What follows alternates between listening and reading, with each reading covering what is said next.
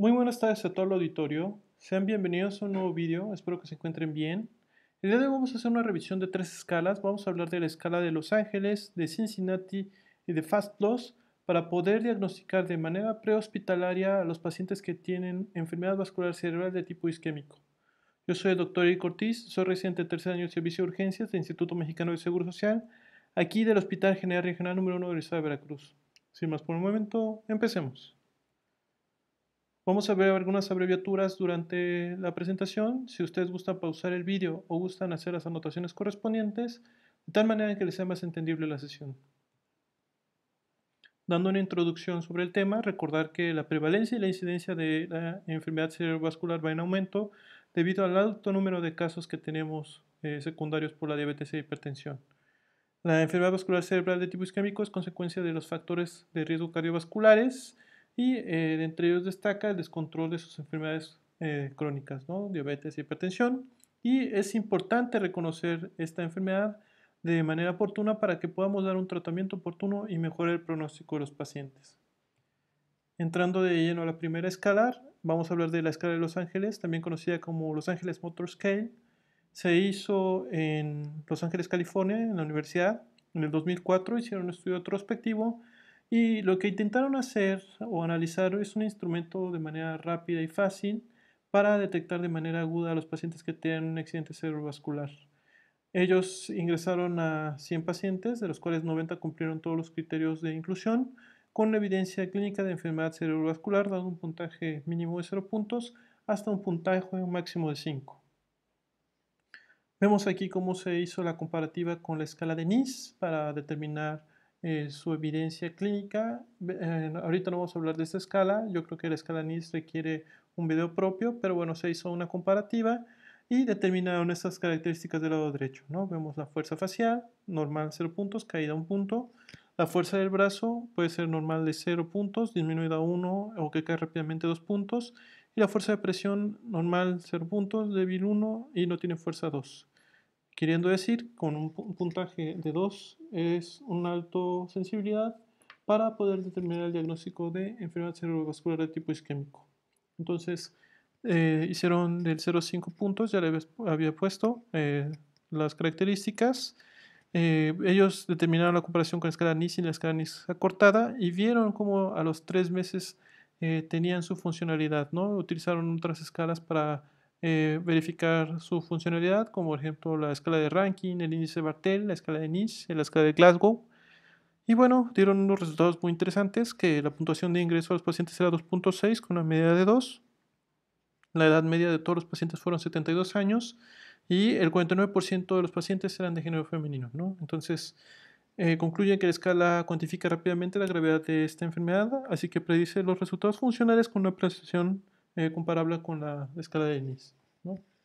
Vamos con la siguiente escala, la escala de Cincinnati, también conocida como Cincinnati Pre-Hospital Stroke Severity Scale, que esta se hizo en el año 2015, intervinieron, aparte de Estados Unidos, eh, Europa, eh, por ahí estaba mencionado también Escocia, que estaba principalmente ahí involucrado. Y aquí tenían como objetivo identificar a todos los pacientes con ictus severo o oclusión de un grande vaso cerebral, metieron a 650 pacientes del estudio IMSS, que el estudio IMSS es un Interventional Management of Stroke número 3.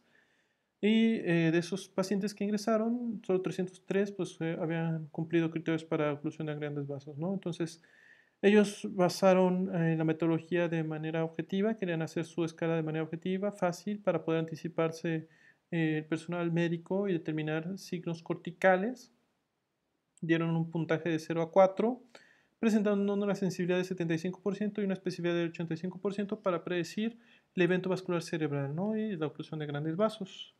Vemos aquí eh, cómo ellos hicieron su comparativa de sensibilidad con especificidad, un área bajo la curva de .90, .89 respectivamente, y eh, daban ellos este, una, unas características, ¿no? dos puntos con desviación de la mirada, ¿no? entonces un punto si contestaba incorrectamente o tenía alguna afección de estado neurológico, por ejemplo, que le pedían cerrar los ojos o abrirlos o apretar la mano, y este, un punto que no podía levantar el brazo, ¿no? De la pérdida de la fuerza por más de 10 segundos.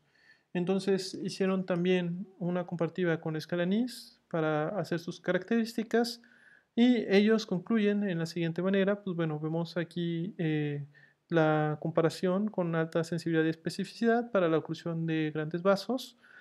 Eh, vemos aquí el puntaje que daban, dos puntos la mirada conjugada, debilidad de brazo y la alteración del estado de conciencia, y teniendo un punto, ellos refieren hasta un 40% de sensibilidad, hasta dos puntos hasta un 60%, ¿no? Entonces, es una comparativa muy interesante, como es altamente sensible esta escala, de, falta un poquito de especificidad, vemos aquí que este es 51, ¿no? 40, eh, está variable en todos eh, estos resultados, y entonces es una escala rápida, es una escala fácil eh, para el apoyo de los pacientes con enfermedad cerebrovascular y compromiso de vasos de gran tamaño. ¿no?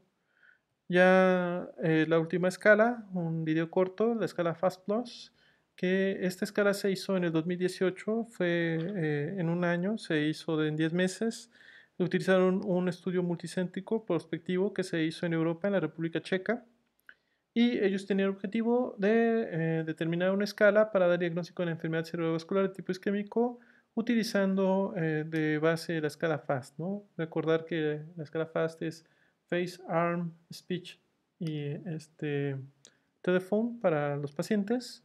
Eh, metieron ahorita un punto extra de estos pacientes que se metieron de los 1605, solo 435 cumplieron todos los criterios y determinaron que tenía una sensibilidad de 93%, pero una especificidad baja de 47% para el diagnóstico de B6 químico y de la oclusión de grandes vasos.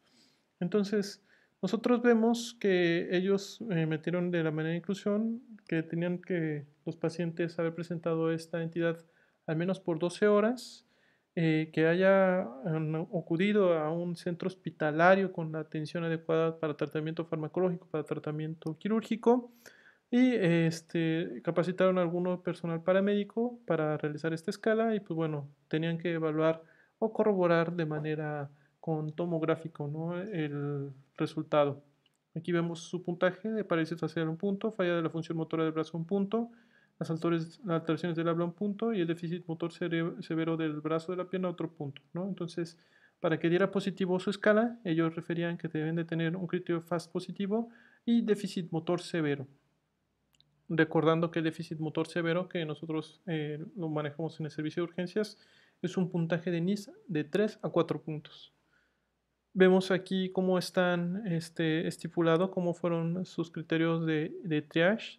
Aquí cómo está eh, categorizado por nombre, la edad, el inicio de los síntomas, el tiempo del inicio de los síntomas, si tenía alguna comorbilidad, si se encontraba el paciente haciendo alguna actividad física previamente, dónde fue y cuándo fue encontrado el paciente, quién lo contactó y bueno, si tiene alguna otra cuestión, si está teniendo anticoagulantes, eh, si él estaba eh, realizando sus actividades cotidianas, si podía caminar o hacer cualquier cosa por sí misma, la escala FAST, lo que les había comentado, y ya aquí vemos cómo metían su escala FAST Plus, ¿no? Entonces, con ellos utilizaban este método de triage para sus pacientes, entonces eh, vemos aquí que el número de pacientes que metieron fueron 435. Aquí está su diagrama de flujo, que fueron el 47% de estos 435. Dieron el diagnóstico isquémico para 377 este, y otros diagnósticos de 10. ¿no? Entonces, eh, tuvieron eh, oclusión 124 pacientes, que fueron 28, y entraron a una trombectomía mecánica el 12%. ¿no? Entonces, Aquí está detallado, siempre es muy importante ver eh, las, tablas, cómo están ellos, cómo fue sus este, rangos de ingreso, los puntajes de rango que ellos tenían. Pero lo más importante son las conclusiones, ¿no? El tratamiento que se le dio oportuno a los pacientes. Entonces, eh, vemos que la escala se basó en tener al menos un criterio positivo, además de tener un déficit, considerando que eh, ya presentaba una alta sensibilidad, y pues bueno, vemos aquí que es muy importante la sensibilidad que estaba presentando, ¿no? Entonces, no así la especificidad que les estaba comentando, algunos valores predictivos positivos y valores predictivos negativos, y pues eh, las áreas bajo la curva que se utilizaron. Entonces vemos aquí más características del FAST más eh, la prueba de resultados, como varios pacientes cumplían con esto. Y bueno, eh, ya terminando con la última, se hizo la comparativa de sensibilidades y especificidades con las demás escalas. ¿no? Aquí vemos todas las escalas, escala RACE que tampoco tocamos ahorita en este video, pero que también valdría la pena repasar, la escala PAS, la escala CPSS. Entonces vemos cómo hace la comparativa, como Fast Plus tiene una sensibilidad de 92%, casi superior a todas las escalas, una especificidad pues no tan buena, ¿ok? es la única cuestión ahí, el único bemol de esta escala, y pues bueno, eh, vemos que es una herramienta muy importante por una de urgencias. Nada más encontré que en la revisión del 2018, la intervención de la Asociación Americana de Cardiología y la Asociación de Americana de Enfermedad Cerebrovascular, la STROKE, en contribución con la Asociación de Neurocirujanos, el Congreso de Neurocirujanos, además de la Sociedad de Medicina de Urgencias, hicieron 36 estudios sobre esta enfermedad y ellos concluyen que a pesar de que hay múltiples escalas, las que se cuentan en la actualidad, no hay una herramienta específica, refiriéndose a lo que es una especificidad alta para determinar la oclusión de grandes vasos para los pacientes con ictus. ¿no? Entonces, vamos a unificar criterios. Este objetivo de este video es poder unir algunas características de sus servicios de urgencias y, pues bueno, para que sea de buen pronóstico para sus pacientes. No me queda saludar más que a mis amigos y a mis maestros. Y pues bueno, yo creo que eso es todo por ahorita. Les dejo mis redes sociales. Si ustedes gustan uh, poner algún comentario, si ustedes gustan alguna cuestión, alguna duda, con todo gusto lo respondería. Y pues bueno, esto es todo por ahorita. Eh, espero que les haya gustado el video. No olviden suscribirse a mi canal y nos vemos para la próxima. Chao.